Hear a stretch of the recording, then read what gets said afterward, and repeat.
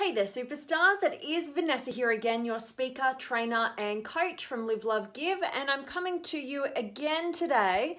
And I really felt called to share with you um, a little bit more of the late Susan Jeffers' work. So, yesterday, in yesterday's Facebook Live, um, we spoke a little bit about her amazing work and the book that she has, which I call one of the all time classics in personal development, which is feel the fear and do it anyway. And I kind of was just like, after that a conversation that we had yesterday, I was like, when did she pass away? I, I, I knew she was gone, but I wanted to do a bit more research and I jumped on and just kind of did a bit of a Google search and I came across what I thought were awesome, what she calls fear truths. And I'm going to share them with you guys today. There's five of them, and ultimately, my purpose for sharing them with you is to, to see what fear you're currently battling with. So, put that in your mind right now. What is something, what is a fear that you've got going on? Um, what is an area of your life where you're not moving forward in and you're continuing to hold yourself back? Maybe you've got a sense of helplessness or you just feel lost or trapped or whatever it is. But I want you to bring that to the forefront of your mind. And ultimately, I want to share these five fear truths um, with you in the hope that they will allow you to break through and break free of your current set of fears and give you the courage and the confidence to to go after it and to stop getting in your way. I'm also I've also been listening to um, Mel Robbins' book, um, The Five Second Rule. I think we've all listened to it or we've all read it or whatever. It's great. Um, you know, it's so simple, and I think this ties into it as well, you know, um, and I'll get into a little piece of that. But at the end of the day, we want the courage, we want the confidence to go after the things that matter to us, and we want to get out of our own way and stop living in fear and insecurity because it's limiting us on so many levels, and in particular, how we feel in an everyday. Um, in our everyday existence. So let's get into it the very first fear truth and i want you guys drop me a comment. Let me know um, which one of these fear truths number one two three four or five are resonating with you. You can see yourself get stuck in them and how they're going to help you. I'd love love love to hear from you and share any wisdom that you guys have. Join in the conversation. I get so energized by you guys. So fear truth number one is the fear will go will never go away as long as you continue to grow. All right so and that's a good thing Okay, so I want to talk into each of these. So I'm going to let you know what the fear truths are, then I'm going to talk into them a little bit. So the fear will never go away so long as you're growing. You know, the, at the end of the day, you can picture yourself in this little circle called your comfort zone and you know you feel kind of comfortable here but this is the place if you stay here if you don't grow if you don't like look over the edge and jump over and you stay where it's comfortable you you have no fulfillment right? So you just you're just living in that everyday existence. You're just doing the same old thing. You're connecting with the same old people. You're experiencing the same old challenges. Um, you're you've got the same old relationship you know and it's just kind of like blur and there's that inner part of you that's thirsty for something more that knows that you've got more to give experience share go deeper on whatever it is, right?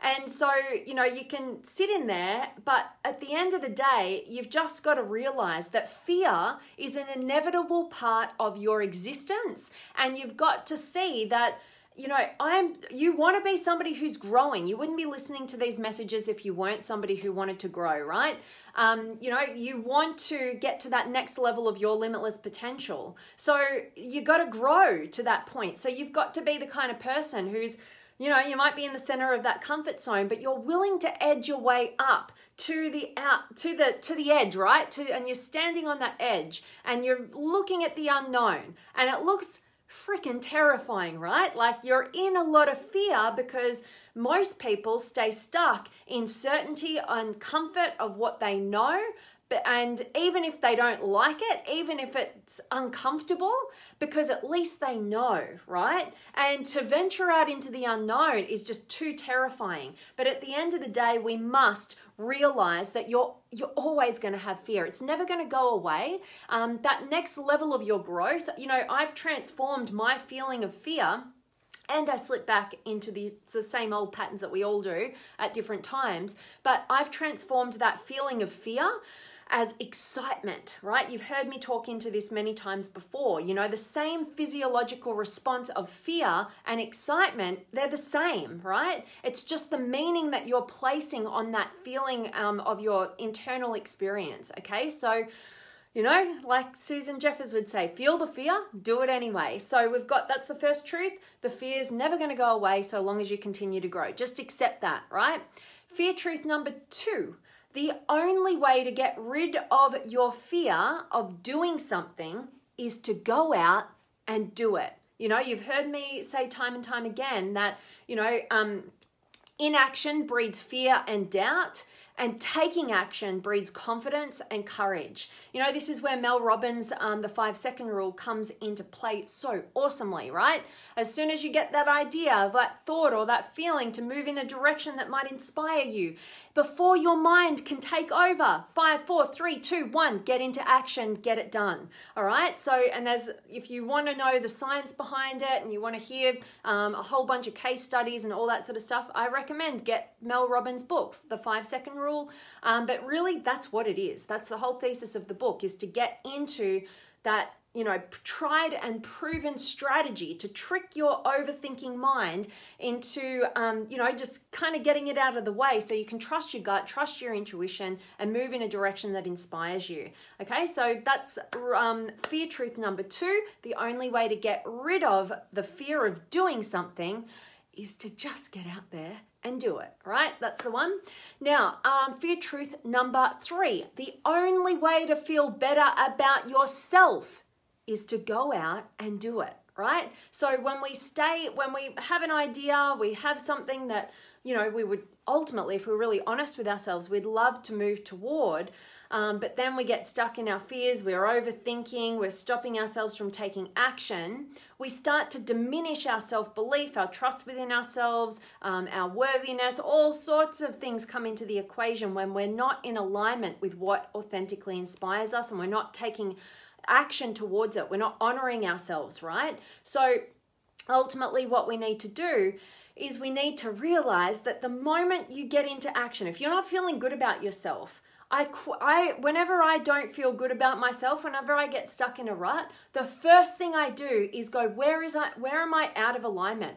Where am I saying I want to do something but not doing it? Where am I not honoring my, um, you know, my dreams and my aspirations? And when I identify that and start taking action in that direction, I start to feel better about myself. Funny that how that happens, right? Okay, um, fear truth number four. Not only are you afraid of facing the unknown, but so is everyone else. I don't care who they are. You know, um, all of our, you know, those greatest mentors in your life, those people that you aspire to be more like, those people that you learn from, I guarantee you they've got their own fears. The only difference is they have a good relationship with fear. They look at the fear and they they know that that's a trigger for them. That's that's like shining the light on the pathway for growth for them. And they're like, "Oh, feeling the fear?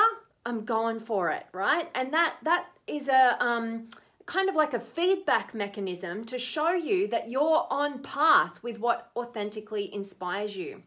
You know, so you know that's that's the kind of mindset that you want to have in terms of feeling the fear, doing it anyway, and knowing that you're no different to everybody else. There's nothing wrong with you. You're not broken. Like, we're all experiencing our own subjective world of fear all of the time. But what are you going to do about it? Or what are you not going to do about it, right? Are you just going to sit there, let fear overtake your dreams, your aspirations, till you end up in a life that you just you're regretting that you have no fulfillment in? Or are you going to be the kind of person who goes, you know what, no matter what I've done or not done, I'm going to move forward in this inspiring direction now. I've got a fresh start here. I'm not going to blame myself for opportunities lost. I, but I, from this point on, I've got too much knowledge, I've got too much self awareness to hold myself back anymore. And I'm not going to let my insecurities and my fears, like everybody else has, get in the way of creating my best life. All right, so that's the kind of mindset that we need to have. And then finally, the fifth fear truth is that pushing through fear is less frightening than living with the bigger underlying fear that comes from a feeling of helplessness.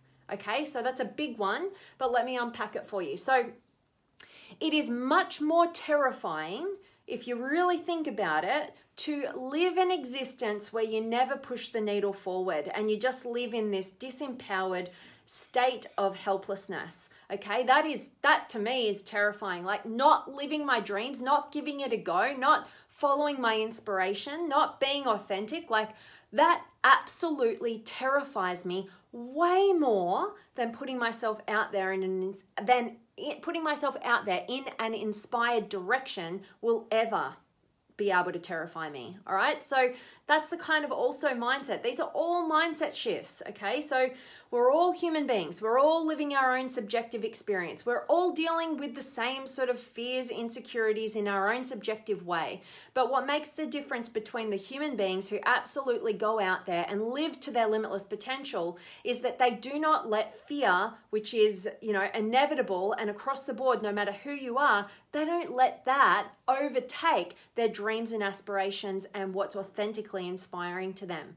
Okay, so now is the time i hope that this message um, has you know inspired you to just think about what are the fears currently going on in my life that are preventing me from living my best life okay and go to work with them. And if you want to dive really deep into how to tap into your subconscious, how to bring those fears to the surface so that you can break through them, wipe the slate clean, and ultimately reach the next level of your limitless potential without those blocks getting in your way any longer. I definitely invite you guys to join the Limitless Potential Academy, the monthly masterclasses. You can jump on my website, the link is up above, and come and join our team. And we go deep every single month on a new topic and a new strategy to, to get you to your next level. This week, we've got a new masterclass coming out on Thursday evening if you're in the States, um, and Friday morning um, or Friday lunchtime, I think it is Aussie time, I should know that.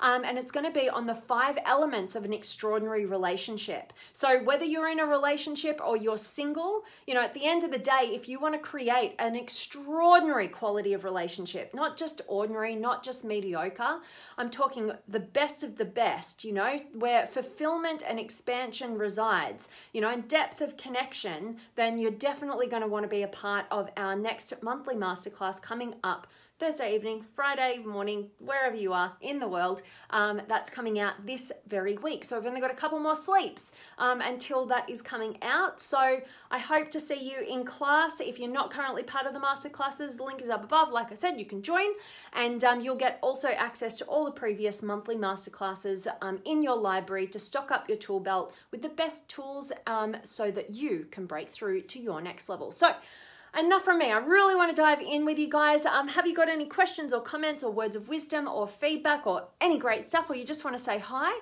I always love hearing from you guys, and uh, definitely let me know. You know, what is your current fear? Um, uh, you know, what one of those fear truths uh, resonates with you? Which one is helpful to you? Let me know. All right, let's jump in. I've got Loki, great to see you, and Shane, and uh, Angelist, Evangelist, sorry, uh, um, and Kabsu and um, Elias, very good. I'm loving that you're finding some value here. And hello to you, Shane. Great to see you. And Dawn, yay. And uh, Bina, nice to see you live. Always great to see you, Bina. Thanks for joining. And Grant's here as well. And Shane, hope you had a great Easter and long weekend, my good friend. Thank you so much, Shane. I absolutely did. I hope you did as well. I did a lot of work, um, but that's that's my favorite thing in the world to do because I get to connect with you guys. So I love it, Shane. And uh, Philippe's here as well. Philippe, I think I'm talking to you very, very shortly. Can't wait to meet you. And Julie's here as well. And Shane, so agree. Um, got to keep growing and breaking through fears. Can't break them all at once. You got it. Absolutely. And uh, yes, you're loving the five second rule. Awesome. Take action while positive. Love it. Absolutely. And like I said, in Mel Robbins' book, she goes through um, the science. She goes through a bunch of case studies, so you can see it's a proven strategy um, for all you guys who want the deets a little bit more before you test something like that out. But otherwise, just go for it. Just test it out. You know, what's the worst that could happen? It takes five seconds of your life, and it could change everything. So I love that, Shane. And Emma's here as well. And Shane, yes, just do it, just like Nike. Yeah, just kidding. Seriously, you know exactly just do it you know? Um, i don't know how many times i've said that to myself particularly over the last few days like sometimes i can get caught up and i'm the next shiny object and this thing and that thing and i've got so many projects um, in the mix right now that i literally have to just stay say to myself just do the right thing like the thing that's actually going to move the needle forward you know? Like just get into a strategy there. And I think we can all relate to wherever we want to just do it, we've got to just do it. I love that, Shane. And Charlotte's here as well. Dawn, have to watch later. Can't wait. Um, I love the book, Feel the Fear. I read it twice now. Awesome. Um, keep going back. Can't wait to hear this later. Have to work early. This book was a great recommendation from you. I love that, Dawn, and I'm so grateful that you took action on my recommendation and you got into that amazing book by Susan Jeffers, Feel the Fear and Do It Anyway. I love that, Dawn, and um, hope to hear from you um, with any of your insights when you get a chance to watch later.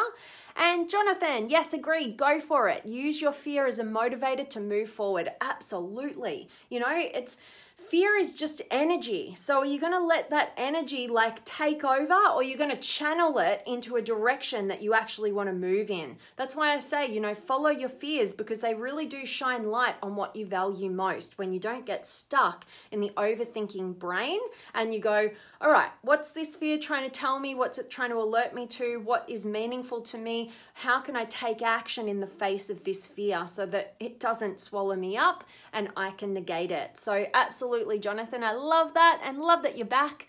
And uh, Dwan, fear of financial security as I get older and settle in an unhealthy relationship.